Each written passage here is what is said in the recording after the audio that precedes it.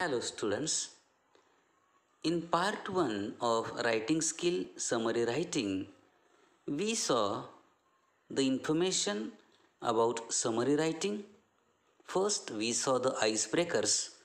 Then, we saw a passage how to write the summary. Then, we saw some points what to do and what not to do when we are writing summary. Then, now we have to see an example which is given in the textbook. See the example first. Learning disability, that is LD, is an umbrella term for a wide variety of learning problems. आता पहा त्यांनी सांगितलं आहे डूजमध्ये की passage पुन्हा पुन्हा वाचा आणि त्याचा अर्थ समजून घ्या. मग आता लर्निंग डिसॲबिलिटी शिकण्याची जी काही डिसॲबिलिटी असते कमतरता पात्रता नसणे त्याला एल डी असं म्हणतात.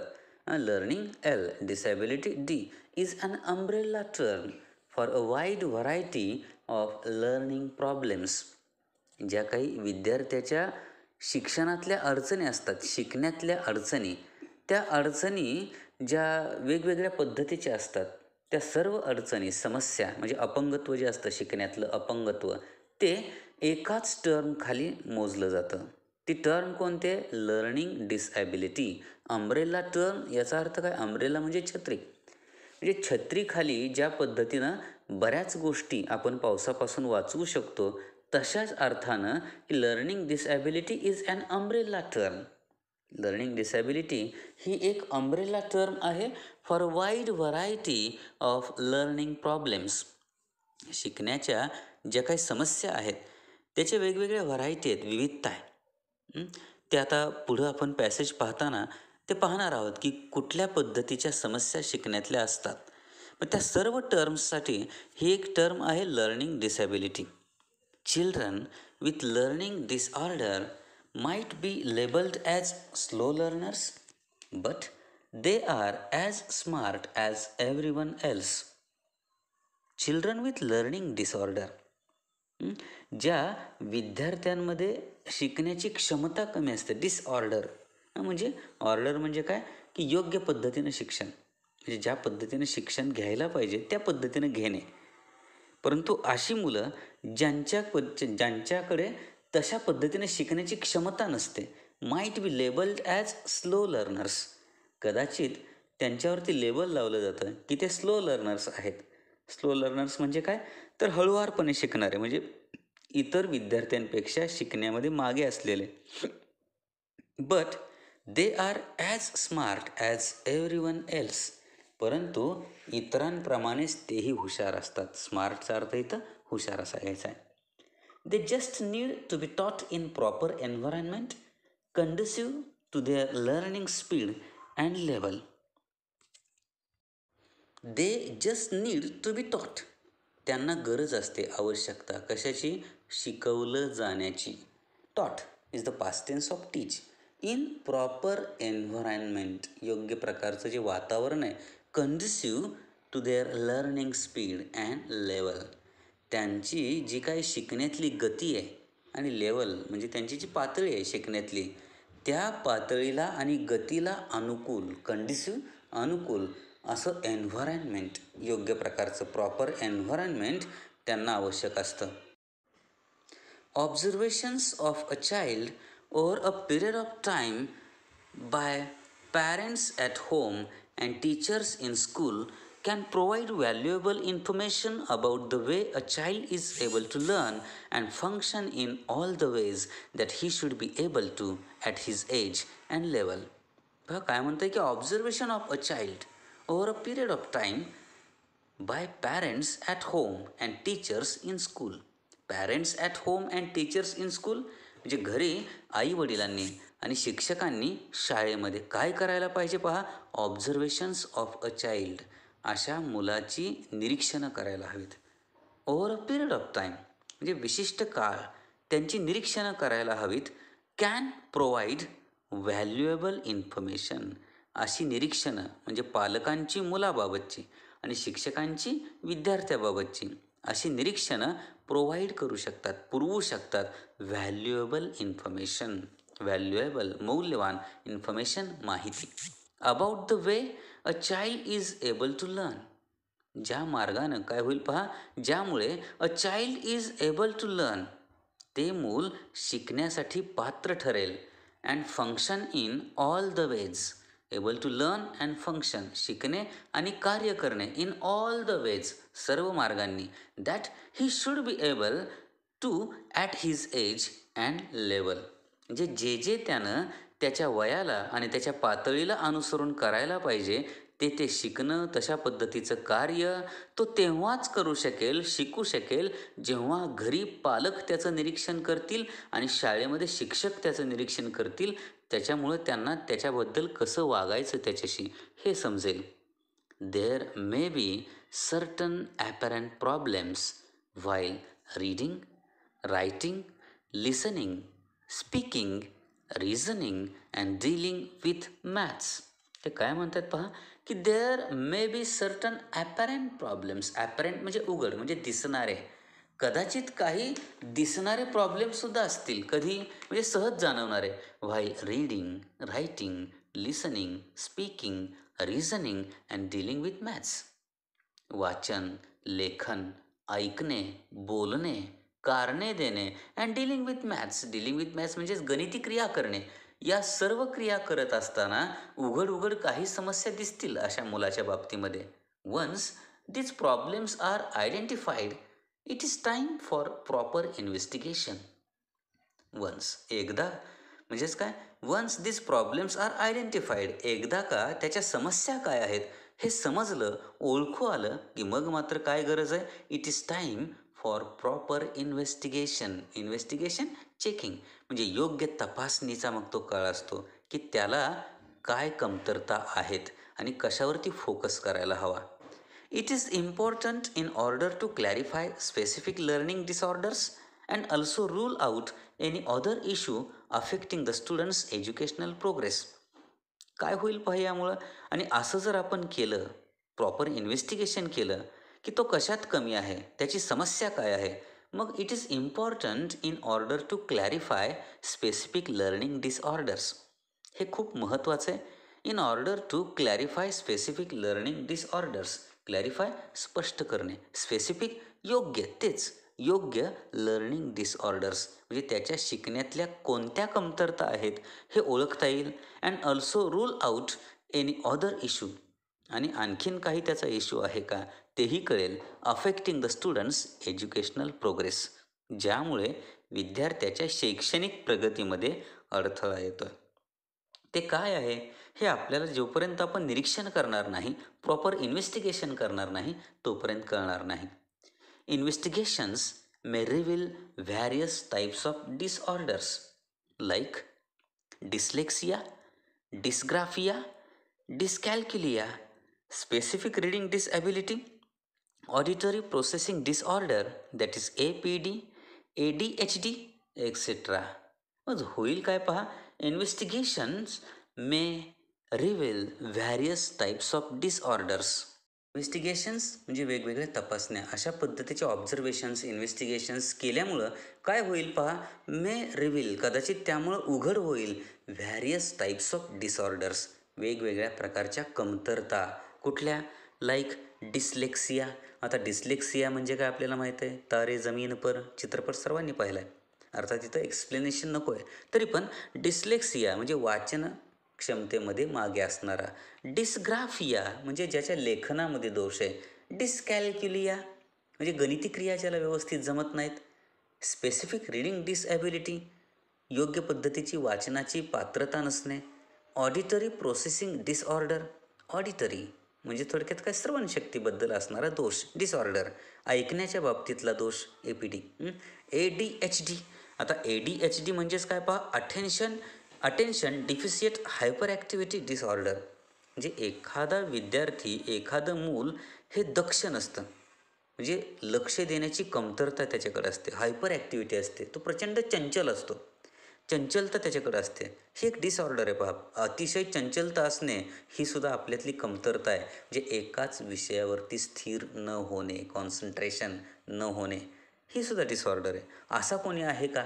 ए डी एच डी त्याच पद्धतीनं etcetera auditory processing disorder also known as central auditory processing disorder is a condition that affects the sound that travels unimpeded through the ear, is processed or interpreted by the brain.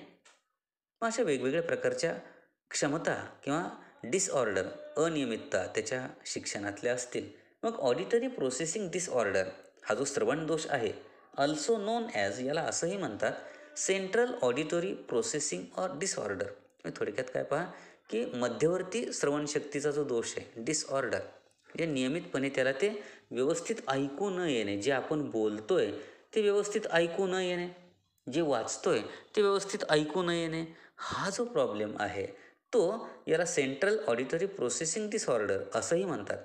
Is a condition म्हणजे अशी अवस्था that affects the sound that travels unimpeded through the ear म्हणजे असा आवाज ध्वनी जो कानामध्ये प्रवेश करतो बिनधास्तपणे विना अडथळा प्रवास करतो आणि कानामध्ये प्रवेश करतो.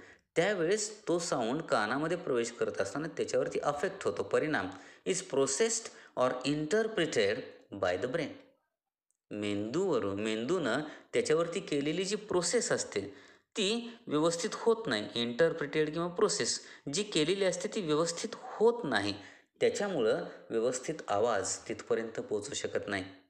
Individuals with A P D do not differences between differences between sounds and words होतं काय पहा? की ती व्यक्ती जी असते ज्याला हा दोष असतो ऐकण्यातील दोष हं? त्याचं काय होतं पहा? म्हणजे त्याला ऐकू तर येतं आहे परंतु जे बोलतो आहे आपण ते ऐकू नाही जात. तर मेंदूमध्ये वेगळ्याच घडामोडी घडतात जो ध्वनी आपण पाठवला आहे तो आणि त्याला वेगळंच काहीतरी ऐकू जातं किंवा कमी प्रमाणात ऐकू जातं. ती व्यक्ती ज्याला ए पी डी हा प्रॉब्लेम असतो डू नॉट रेकग्नाइज तो ओळखू शकत नाही. Subtle difference between sounds and words योग्य प्रकारचा फरक तो ओळखू शकत नाही. ध्वनी आणि शब्दांमधला. अशी अवस्था होते. Dyscalculia is a condition that affects a person's ability to understand numbers and learn math science and symbols while dysgraphia affects a person's handwriting abilities and fine motor skills. आता डिस्कॅल्क्युलिया म्हणजे काय? अर्थ मगाशी सांगितलाच काही वेळापूर्वी. डिस्कॅल्क्युलिया इज अ कंडिशन म्हणजे dyscalculia म्हणजे अशी अवस्था that affects a person's ability व्यक्तीची क्षमता जी आहे त्याच्यावरती परिणाम. कुठली? टू अंडरस्टँड नंबर्स म्हणजेच काय? संख्याज्ञान होणं. संख्येचं ज्ञान होणं. त्याला कळत नाही.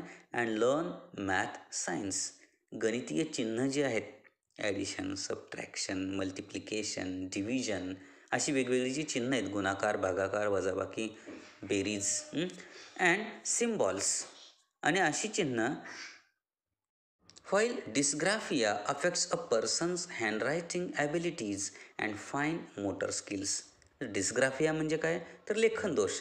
Dysgraphia affects a person's handwriting abilities त्या व्यक्तीची लिखाणाची क्षमता त्याच्यावरती परिणाम होतो अँड फाईन मोटर स्किल्स आणि जो जे आपली काही कौशल्य आहेत लिखाणाची व्यवस्थित प्रकारची त्या बाबतीतल्या पात्रतेवरती सुद्धा परिणाम होतो. Dyslexia is a learning disorder affecting reading and language based processing skills like reading fluency decoding recall writing and sometimes even speech. आता डिस्लेक्सिया वेगवेगळ्या प्रकारचे काही डिस्लेक्सियाचे प्रकार इथे दिलेत आजाराचे. Dyslexia is a learning disorder dyslexia ही एक काय पहा? शिकण्याची अक्षमता आहे. कोणती? अफेक्टिंग रीडिंग म्हणजेच काय? वाचता न येणे. And language based processing skills आणि भाषेवर आधारित असणारी जी काही कौशल्य आहेत कोणती? लाईक रीडिंग फ्लुएन्सी वाचन क्षमता फ्लुएन्सी म्हणजे फ्लुएन्सली वाचता येणे ओघवतं वाचता येणे डिकोडिंग अक्षर व्यवस्थित ओळखणे अक्षर ज्ञान होणे रिकॉल वाचलेलं किंवा समोरच्यानं सांगितलेलं जसंच तसं बोलणे रायटिंग लिहिणे अँड समटाईम्स इव्हन स्पीच आणि बऱ्याच वेळेला बोलणे भाषण करणे या बाबींची कमतरता असणे. याला डिस्लेक्सिया असं म्हणतात. Many aspects of speaking listening reading writing and arithmetic overlap and build on the same brain capabilities बऱ्याच वेळेला काय होतं मेनी ॲस्पेक्ट्स वेगवेगळे बरेच प्रकार ऑफ स्पीकिंग बोलणे लिसनिंग ऐकणे रीडिंग वाचणे रायटिंग लिहिणे अँड ॲरिथमॅटिक आणि गणिती क्रिया. ओव्हरलॅप या एकमेकांमध्ये मिक्स होतात ओव्हरलॅप होतात and build on the same brain capabilities एकाच मेंदूच्या क्षमता या वेगवेगळ्या पद्धतीनं ओव्हरलॅप होऊ शकतात. जे एकाच व्यक्तीच्या बाबतीमध्ये या वेगवेगळ्या अडचणीसुद्धा एकाच वेळी येऊ शकतात. It is not surprising that people can be diagnosed with more than one learning disability त्याच्यामुळं हे काही सरप्रायझिंग नाही आहे इट इज नॉट सरप्रायझिंग म्हणजे आश्चर्यकारक नाही आहे that people can be diagnosed निदान होऊ शकणे. डायग्नोज म्हणजे निदान होणे. People can be diagnosed with more than one learning disability जे एखादी व्यक्ती किंवा माणसं एकापेक्षा जास्त शिक्षणातल्या ज्या डिसॲबिलिटी आहेत शिकण्यातले दोष एकाच व्यक्तीमध्ये जास्तही असू शकतात एखादाही असू शकतो. फॉर एक्झाम्पल एक उदाहरण दिले त्यांनी. The ability to understand language underlines learning to speak की एखाद्या व्यक्तीला भाषा समजण्याची डिसॅबिलिटी आहे. ते त्याला व्यवस्थित होत नाही. भाषा ज्ञान अंडरलाइज लर्निंग टू स्पीक म्हणजे ज्याचं भाषा ज्ञान कच्चं आहे त्याला बोलता येत नाही व्यवस्थित. म्हणजे पहा भाषेचं ज्ञान हे बोलण्याशी रिलेटेड आहे.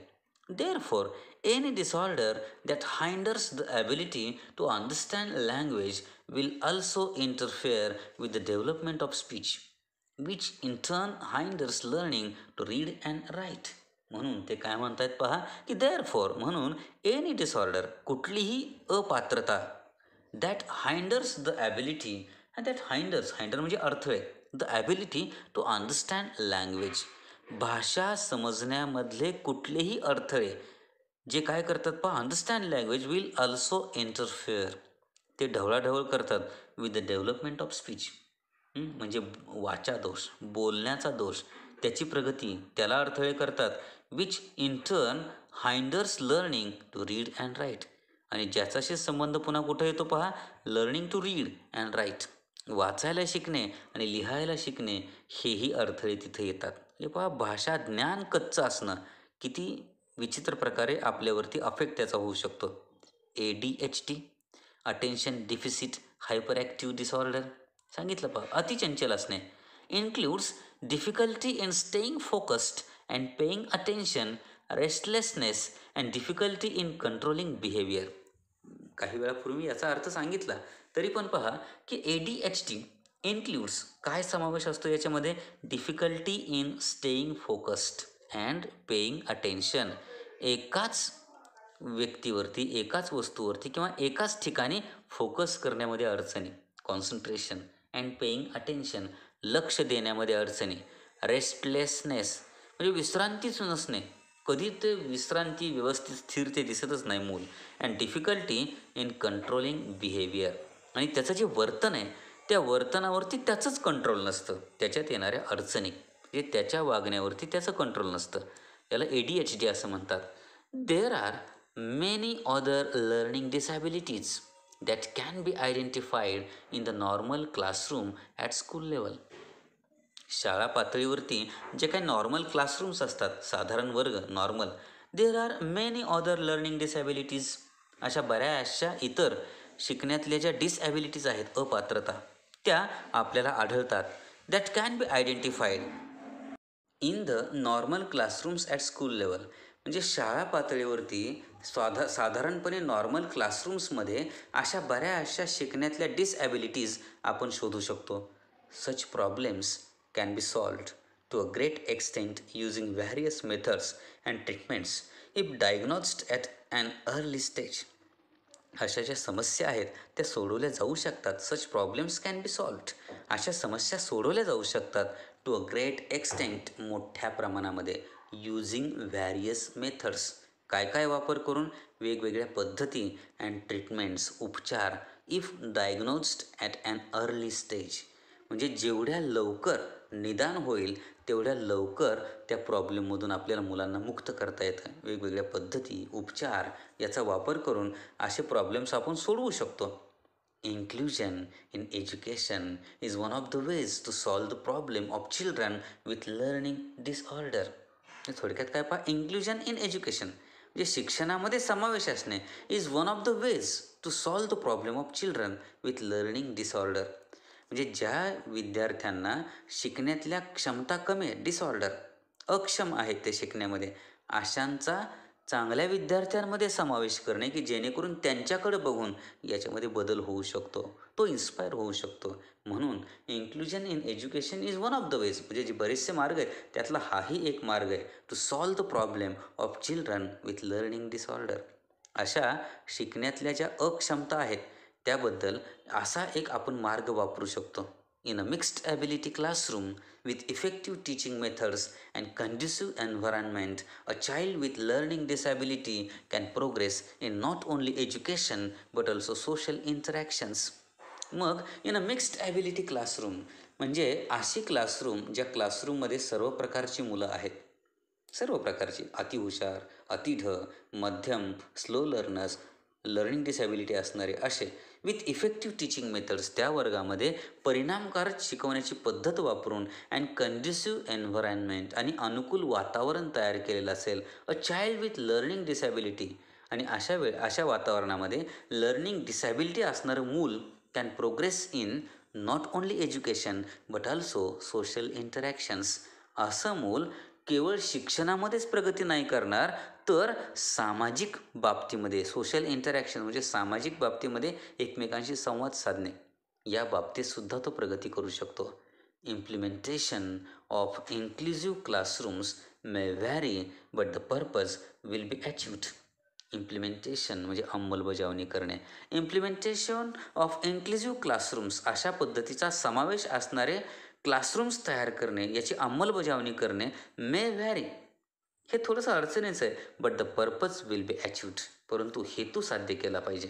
Unfortunately our country is less open to inclusive learning for children with L D unfortunately दुर्दैवाने our country is less open आपल्या देशाची अवस्थाच अशी की लेस ओपन कमी प्रमाणामध्ये ती ओपन आहे. To include learning for children with L D म्हणजे अशी मुलं ज्यांची शिकण्याची डिसऑर्डर आहे अपात्रता आहे काहीतरी समस्या आहे त्यांच्याबाबत भारत देश त्या पाहिजे तेवढा जागरूक नाही आहे असं ते म्हणत आहेत unless handled efficiently this disorders often transform to condition like anxiety and depressions unless handle efficiently जर यांना व्यवस्थित हाताळलं गेलं नाही दिस डिसऑर्डर्स ऑफन ट्रान्सफॉर्म तर अशा डिसऑर्डर्स ज्या आहेत मुलांमधील त्या ऑफन ट्रान्सफॉर्म टू कंडिशन त्याचं परावर्तित कशामध्ये होतं परावर्तन? तर त्याची अवस्था कशी होते अशा मुलांची? त्या मुलांना जर व्यवस्थित हाताळलं नाही तर त्यांच्यामध्ये लाईक अँक्सिएटी म्हणजे त्यांच्या ते चिंताग्रस्त होतात. चिंता वाढते अँड डिप्रेशन आणि दबाव येतो त्यांच्यावरती मानसिक दबाव येतो. Parents teachers educators and other stakeholders must insist on the need to uplift children with L D म्हणजे लर्निंग डिसॅबिलिटी असणारी जी मुलं आहेत त्यांना वरती घेणे अपलिफ्ट करणे हे त्यांना चांगल्या मुलांमध्ये समावेश करून घेणे हे गरजेचं आहे. कोणी त्यासाठी मदत केली पाहिजे? पॅरेंट्स टीचर्स एज्युकेटर्स पालक शिक्षक सुशिक्षित माणसं अँड अदर स्टॉक होल्डर्स आणि अशी माणसं ज्यांच्याकडं काही शैक्षणिक संस्था वगैरे आहेत must insist on the need त्यांनी आग्रही असलं पाहिजे. On the need to uplift children with L D learning disability असणाऱ्या मुलांबद्दल त्यांना वरती घेण्याबद्दल म्हणजे शिक्षित करण्याबद्दल त्याच पद्धतीनं सामाजिक पद्धतीनं चांगलं वातावरण त्यांच्या बाबतीत निर्माण होण्याबद्दल प्रयत्न यांनी करायला हवेत. The children need to be handled carefully in their own space आणि अशा मुलांना काळजीपूर्वक हाताळावं लागतं. The children need to be handled carefully अशा मुलांना काळजीपूर्वक हाताळावं लागतं. कसं कुठं? इन देअर ओन स्पेस त्यांचा स्पेस वेगळा असतो. त्यांचं विश्व वेगळं असतं. त्यांच्या विश्वाचा अंदाज घेऊन त्यांना हाताळावं लागतं.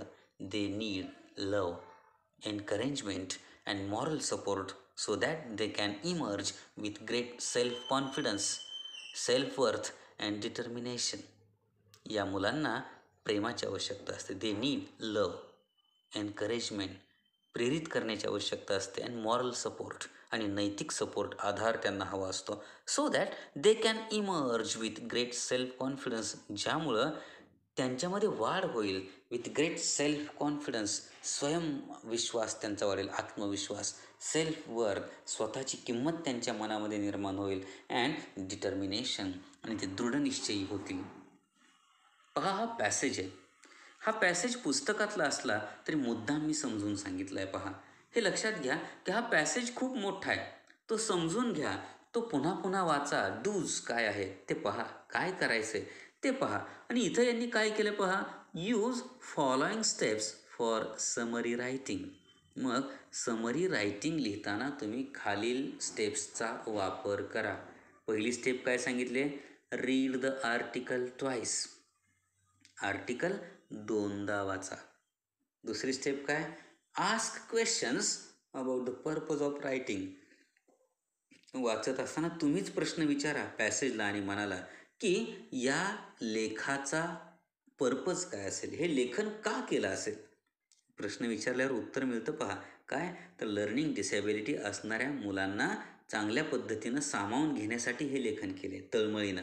लक्षात येतं step three identify the main idea दोनदा वाचत असताना तुमच्या लक्षात येईल की मुख्य आयडिया काय आहे? या पॅसेजची मुख्य कल्पना काय ते शोधा.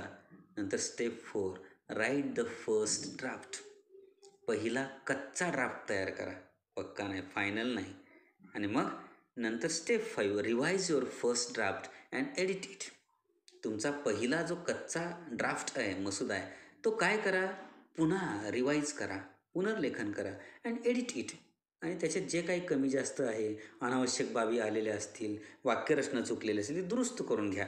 आणि step six write the final draft मग मात्र अंतिम ड्राफ्ट तयार करा. ती तुमची समरी असेल. कारण समरी म्हणजे काय? तर एक तृतीयांश सारांश. म्हणजे थोडक्यात काय? दहा ओळी तिथं असतील तर आपल्याला तीन ओळी लिहायचे दहा वाक्य असतील तर तीन ते चार वाक्य आपल्याला लिहिता आली पाहिजेत. मग आता आपण ज्या पद्धतीनं काय करायला पाहिजे आणि काय नको करायला डूज अँड डोंट्स आणि यांनी दिलेल्या सहा स्टेप्स याचा आधार घेऊन जर आणि कालचा पार्ट वन पुन्हा पुन्हा ऐकल्यानंतर आणखीन काय करायला हवं? जर आपण आधार घेतला तर काय ओमिट करायचं आहे काय त्याच्यातलं वगळायचं आहे कशावरती फोकस करायचा आहे आणि काय लिहिलं गेलं पाहिजे?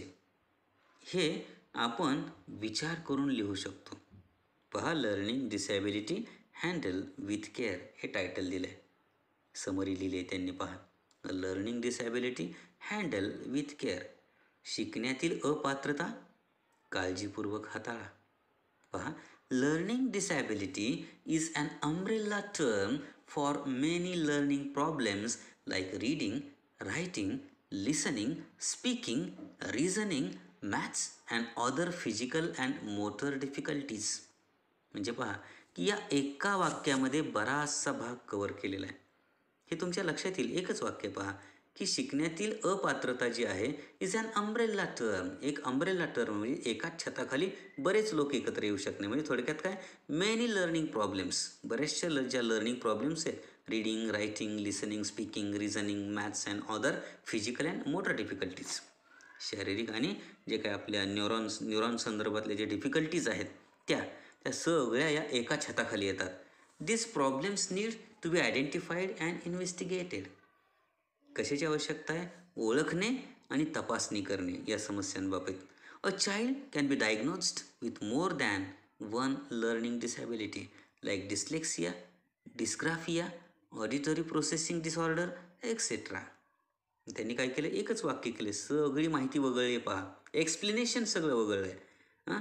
Such disorders can be dealt with using various methods मग वेगवेगळ्या पद्धती वापरून याच्यावरती आपण मात करू शकतो. इन रेग्युलर क्लासरूम नियमित वर्गामध्ये मात करू शकतो. One of the ways is inclusion अनेक मार्ग आहेत. त्यातला एक मार्ग काय? इन्क्ल्युजन समावेश करणे. त्यांचा नॉर्मल वर्गामध्ये. Implementation of inclusion may vary but it was it has a positive effect on the learning disabled अशा अंमलबजावणी करणे थोडंसं कठीण आहे परंतु तरीसुद्धा त्यांचा समावेश करण्याची अंमलबजावणी केल्यानंतर मात्र आपल्याला पॉझिटिव्ह इफेक्ट दिसतील. Though the idea of inclusion in not popular in our country it can prove useful to handle such children जरी आपल्या देशामध्ये अशा मुलांचा समावेश वर्गामध्ये करणे साध्या सामान्य मुलांच्या वर्गामध्ये करणे. जरी इथं तेवढ्या मोठ्या प्रमाणात होत नसलं तरीसुद्धा it can prove useful to handle such children अशा मुलांना व्यवस्थित हाताळल्यानंतर बदल होऊ शकतो हे प्रूव्ह झालेलं आहे. Along with the methods and techniques the children also need encouragement and moral support to progress with self confidence and determination या सर्व मेथड्स आणि टेक्निक्सबरोबरच या मुलांना कशाची गरज आहे? एनकरेजमेंटची गरज आहे. इन्स्पिरेशनची मॉरल सपोर्टची गरज आहे. ज्यामुळं त्यांच्यामध्ये प्रोग्रेस होईल. सेल्फ कॉन्फिडन्सचा आणि डिटर्मिनेशनचा पहा किती थोडक्यात समरी रायटिंग केलेली आहे. एक्सप्लेनेशन्स टाळलेले आहेत. आकडेवारी तर याच्यात नाही आहेच वरती. तीही टाळलेली आहे. अनावश्यक बाबी टाळलेल्या आहेत. जे डबल डबल झालेल्या गोष्टी आहेत त्या वगळलेल्या आहेत. मोठी मोठी वाक्य दिसत आहेत छोटी छोटी वाक्य केलेली आहेत. पहा. आणि अशा पद्धतीनं समरी त्यांनी इथं लिहिलेली आहे. आपल्या लक्षात येईल की त्यांनी महत्त्वाचे मुद्दे थोडक्यात स्वतःच्या भाषेत लिहिलेले आहेत. पॅसेजचा मूळचा अर्थबोध होण्यासाठी योग्य त्या क्रमानं लेखन केलेलं आहे. समरी लिहिताना स्वतःची भर घातलेली नाही त्याने नवीन माहितीची भर घातलेली नाही आणि मूळच्या पॅसेजमधील मुद्द्यांचे अर्थ स्पष्ट केलेले नाहीत. जसे तसे शब्द दिलेत. Dyslexia dysgraphia auditory processing disorder जसेच्या तसे दिलेत. त्याचे एक्सप्लेनेशन करत बसलेले नाहीत आणि पॅसेजबद्दल स्वतःचं मतही त्यांनी मांडलेलं नाही आहे कुठलाही आकडेवारी तिथं दिसत नाही आहे इन्व्हर्टेड कॉमामधले कुठले डायलॉग्स तिथं दिसत नाहीत अर्थात आर्टिकलमध्येही नव्हते इथंही येणार नाहीत. या सर्व बाबी आपण पाळायच्या आहेत आणि या सर्व बाबींचं पालन करूनच आपण काय करायचं आहे समरी रायटिंग करायचं आहे हे लक्षात घ्या मुद्दामून मी तुम्हाला आपल्या टेक्स्टबुकमध्ये असलेला पॅसेजेस जो आहे त्याचं समरी रायटिंग समजावून सांगितलेलं आहे. आता तुम्हाला हा जो पार्ट टू आहे तो व्यवस्थित समजला असेलच. तो व्यवस्थित तुम्ही समजून घ्या आणि समजून घेऊन पुन्हा पुन्हा हे क्लिप ऐका पार्ट टू पुन्हा पुन्हा ऐका. आणि पार्ट टू ऐकल्यानंतर पुस्तक डोळ्यासमोर ठेवून त्याची समरी स्वतःहून लिहिण्याचा प्रयत्न करा. मग नंतर पार्ट थ्री आपण समरी रायटिंगचा घेणार आहोत. आणखीन समरी रायटिंग हा टॉपिक संपलेला नाही आहे या part थ्रीमध्ये actual how to write summary एक एक्झाम्पल घेणार आहे आणि ते सोडवून दाखवणार आहे. Till then have a nice day